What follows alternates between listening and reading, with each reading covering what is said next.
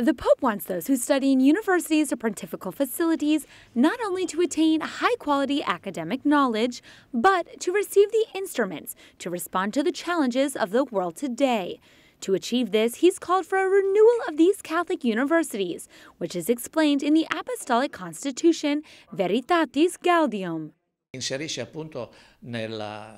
part of the renewal, the missionary conversion that the Pope wants for all institutions. He wants it to be applied in our universities and faculties.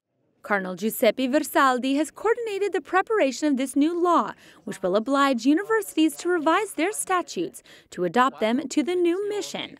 Pope Francis specifies it in four points that the gospel be at the center, that a culture of dialogue be promoted not one of defense or attack.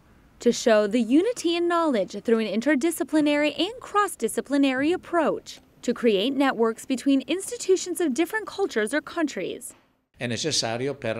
Uh, in order to not remain behind, one cannot simply repeat what has always been done, even if it's good.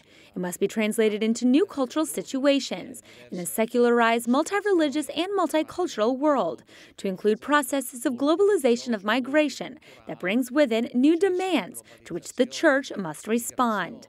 The new document includes some specific changes, such as indications for online classes or how to provide academic assistance to refugees. In addition, it will be obligatory to verify the teaching quality provided in each institution.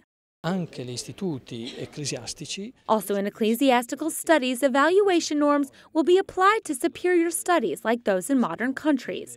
Do not only stop at the class title, but ask about the quality of the knowledge that will be transmitted. The spirit of the document presents the idea of improving collaboration between pontifical universities, beginning with those in Rome. One of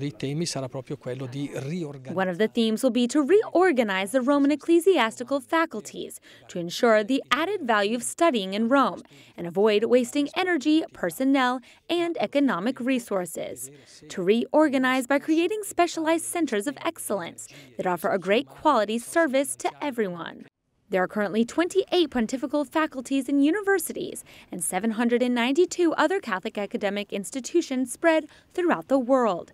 In total, they have almost 65,000 students and 12,000 teachers.